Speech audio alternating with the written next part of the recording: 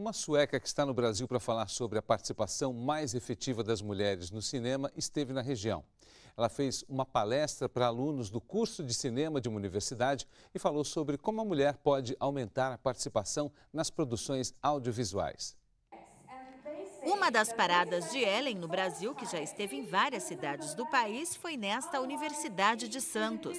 A diretora de audiovisual chegou falando sobre o que acha do cinema brasileiro. This moment uh, in Brazil, I think it's really no momento, o cinema brasileiro está progredindo, especialmente na apresentação, tanto de mulheres como de raça.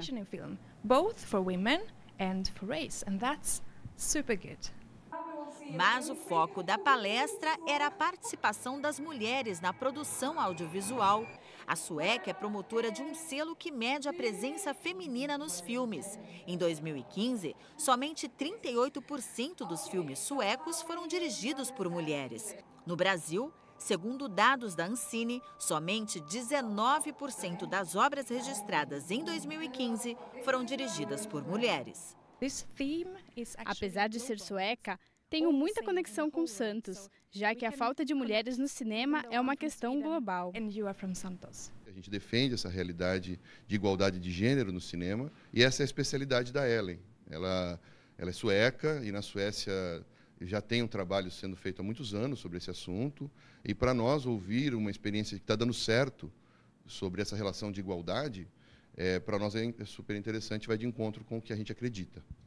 Jovens estudantes de cinema e também quem já está no mercado de trabalho assistiram à apresentação da diretora sueca e também falaram de quanto o conhecimento dela pode melhorar a participação feminina nas produções no Brasil. A gente percebeu pelo começo da palestra da Ellen que essa diferença não é só aqui, né? Que lá também está difícil, está um pouco diferente daqui, talvez pelas proporções, né, territoriais e tal, mas que a gente ainda tem um, um longo caminho pela frente. A gente fala pouco nos filmes, a gente vê poucas mulheres dirigindo filmes e produzindo filmes.